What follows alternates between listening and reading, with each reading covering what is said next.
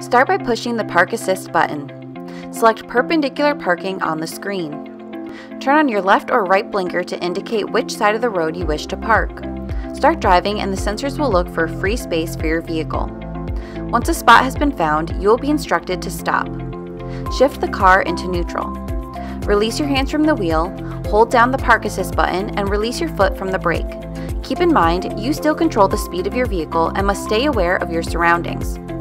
Once you release the brake, the car will start parking. It will even shift on its own. If you release the Park Assist button, it will cancel out the Park Assist.